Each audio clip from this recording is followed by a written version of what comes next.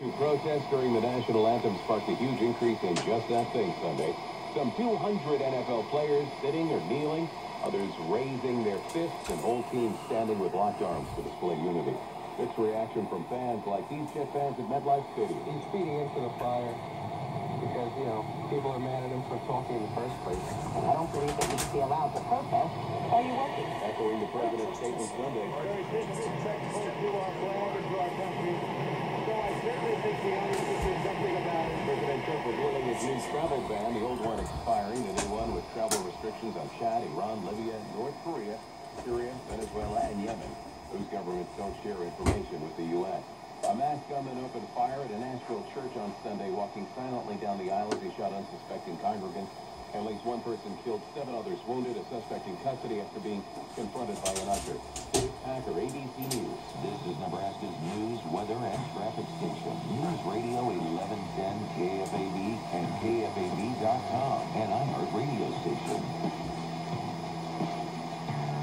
Uh, Bill Cunningham, the great American, one of the great conservative commentators in America today.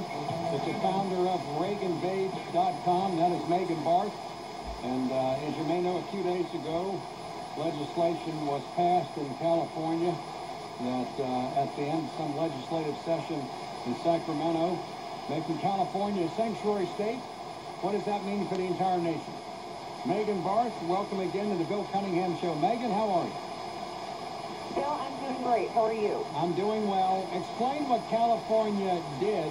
And so goes California, so goes the nation. What does this mean to the American people? Well, this is a progress, according to the progressives. The latest census, the latest census has one in five Californians living in poverty. The poverty rate is at 20%, which marks an 8% increase in seven years that Jerry Brown and the progressives have controlled the state.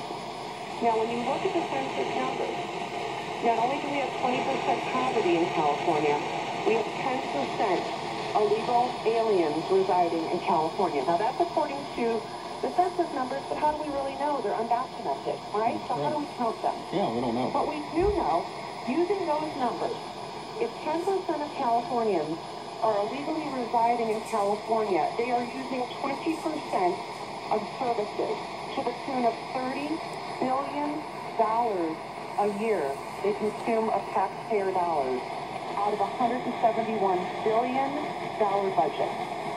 Yeah, give me, uh, if you can, think like a progressive, think like a liberal, think like a left-winger, like Governor. Just think like that, Jerry Brown. Okay, I live in a state